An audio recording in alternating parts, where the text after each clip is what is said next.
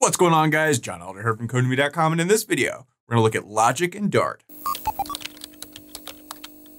All right guys, like I said in this video, we're gonna look at logic and Dart. But before we get started, if you like this video and want to see more like it, be sure to smash the like button below, subscribe to the channel, give me a thumbs up for the YouTube algorithm, and check out Codemy.com where I have dozens of courses with thousands of videos that teach you to code. Use coupon code YouTube50 to get 50% off memberships, all my courses, videos, and books for one-time fee, which is insanely cheap. Okay, like I said, in this video, we're gonna look at logic and Dart. If statements, if else statements, if else if statements, right? So super easy with Dart. This is just a, you know, a core fundamental computer programming concept. All programming languages have logic, if statements, things like that. And in Dart, they're pretty straightforward and they're pretty easy to use. So head over to our code. I'm using the Sublime Text Editor in the Git Bash terminal as always. And as always, you can find a link to the code in the pinned comment section below, as well as a link to the playlist with all the other Dart videos in this series. So check that out if you haven't so far. So we've got our basic Dart starter code, and I'm just calling it logic.dart. So let's start out by creating a variable. I'm just going to call it num. And let's just set it equal to five. So let's start out with a basic if statement, which will allow us to basically check for some condition, ask some sort of question,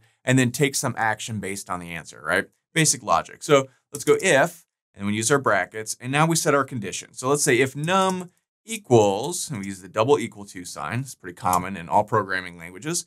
If it equals five, then we want to do something. And we use our brackets to show what do we want to do. Well, let's just print to the screen I don't know, the number is five, right? So whatever. We can go ahead and save this, head over to our terminal I'm in my C Dart stuff directory, and let's run dart logic.dart, and we see, hey, the number is five, which, you know, makes sense because we know our number is five. If we change this to three, save this, run it again, nothing at all is gonna happen. You can see just nothing happens at all because our number didn't equal five, right? Our number is three. So if this is true, then this will get executed. If this is false, then it will skip down to right here, the outside of this bracket here, and then just continue on with the program. We don't have anything else in our program, so it just sort of ends, right? So that's a basic if statement. Let's go ahead and change this back to five. We can also use an if else statement. And this allows us to take some other action if the first statement isn't true. If this is false, do something else, right? An else statement. So to do that, we just call else. Uh, we can then do something else. The number is not five, right? If we save this, what do you think is going to happen? The exact same thing as before. It's just going to say the number is five. But if we come back here and change our number to something else, say four or whatever, save this, come back over here, run it again. Now it says the number is not five. And we can get really fancy with this if we want. We can say the number is and then, you know, and we can, I don't know, stick our num in there or something like that.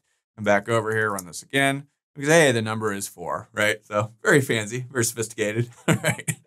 And uh, that's all there is to it. So I'm going to change this back to the number is not five. There we go. So that's if, that's if else statement. We can also do an if else if which allows us to ask more than one question, right? So here we're just asking one question, is num equal to five, right? We can do other things as well. So I'm gonna take this down here, and then after this, we just call else if, and then we could do another condition, right?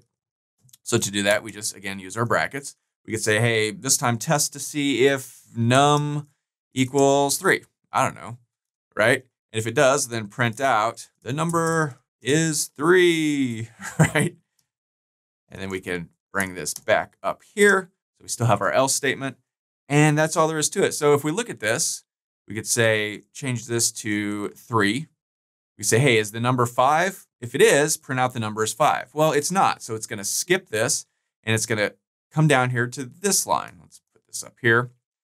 And then it's going to say, oh, well, we've got another condition here. Is the num equal to three? If it is, print this out, and then stop. If it's not, follow along down, start with this line right here, and then the number is not five. So if we go ahead and save this, we can pretty much guess what's gonna happen here. We can say the number is three, and we could play around with this. You know, we could change this back to five. If we do that, you know, it's gonna say, hey, the number is five, of course. And we could change this to 51, right? Go back over here, save this. Hey, the number is not five. Or if we really wanted to, we could get crazy and say the number is not three or five. it is, and then we could put in our num. All right, go ahead and save this, run it, clear the screen. The number is not three or five, it is 51. A silly example, but uh, I think you get the picture. Very easy to use logic with Dart as it is in most programming languages. Now we're using the equal to here. We can use all of our comparison operators, right? So you can use greater than, less than, greater than or equal to, less than or equal to, not equal, and all of that. So, you know, you could say, hey, is number greater than five? Well, in this case, it is. It's 51, and you get the picture.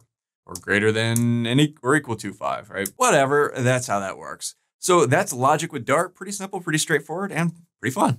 So that's all for this video. If you liked it, be sure to smash the like button below, subscribe to the channel, give me a thumbs up for the YouTube algorithm, and check out Codemy.com where you can use coupon code YouTube50 to get 50% off membership. So it's access to all my courses, over 50 courses, thousands of videos, and the PDFs of all my best-selling coding books. Join over 150,000 students learning to code just like you. My name is John Elder from Codemy.com, and I'll see you in the next video.